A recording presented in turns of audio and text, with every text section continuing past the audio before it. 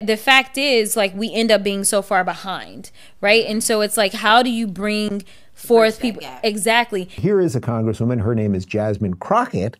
And uh, listen to her policy proposal. This is this is a gem.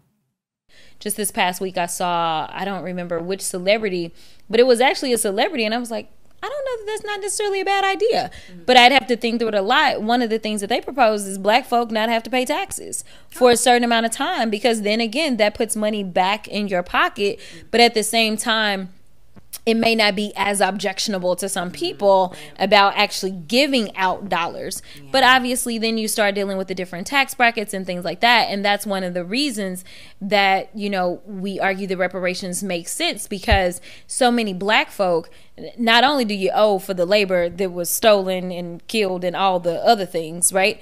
But the fact is, like, we end up being so far behind, right? And so it's like, how do you bring forth people exactly. And so it's like if you if you do the no tax thing for people that are already say struggling and aren't really paying taxes in the first place it doesn't really exactly they may they may want those those checks like they got ex- ex- exactly Okay, so reparations for people who were not slaves and no taxes for black people. Guys, guys, guys, all we have to do, those of us who are sane, is not be completely insane right now. This is our moment.